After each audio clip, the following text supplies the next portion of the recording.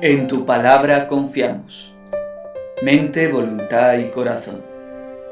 Evangelio y homilía del día.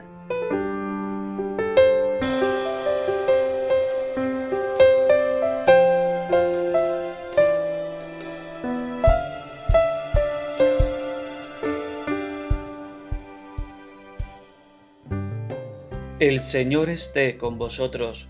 Lectura del Santo Evangelio según San Lucas.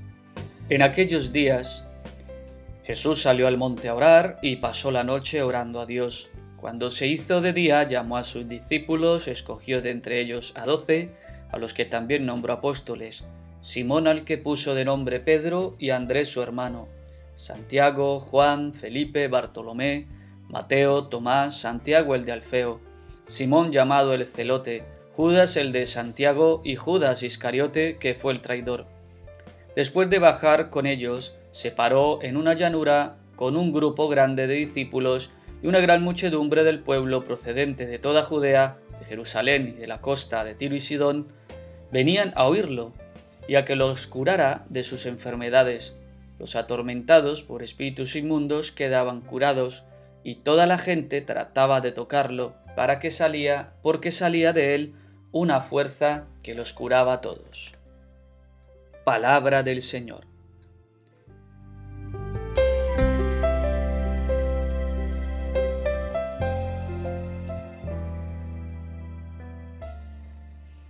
Pues bien, queridos hermanos, el Señor nos enseña algo muy importante cuando vayamos a tomar una decisión trascendental, ¿no?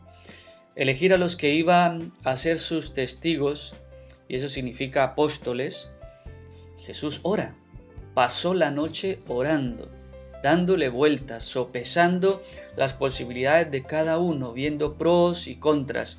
No cualquiera valía y aún así nos desdeñó a Judas que lo traicionaría, ni a Pedro que lo negaría, ni a Tomás que dudaría hasta el final, ni a Santiago y Juan que buscaban los primeros puestos. ¿O era su madre la que lo quería? Ah, las madres. Ni a... Bueno, debía dar un paso decisivo. Hoy diríamos decisión empresarial. Y de elección a un riesgo de equivocarse.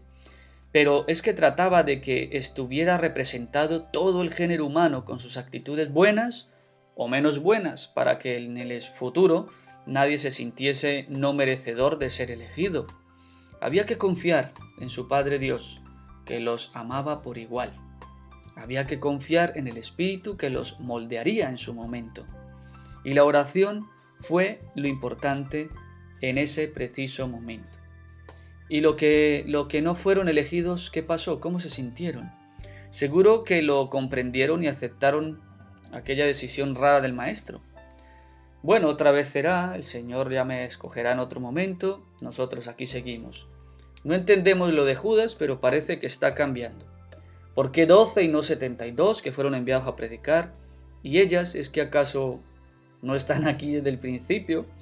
¿Acaso no dice el Maestro que todos somos hermanos y hermanas por igual? ¿Qué más nos da porque lo hizo así? Lo importante, queridos hermanos, es que lo hizo como núcleo de lo que vendría después, de las elecciones posteriores. De, y aquí estamos nosotros, y que somos los continuadores eficaces de aquella noche de oración. Todo, todo el género humano. Hoy es la festividad de Simón y Judas Tadeo, apóstoles, testigos, cada uno a su manera, cada uno con una misión, como nos toca a nosotros por igual. Feliz día.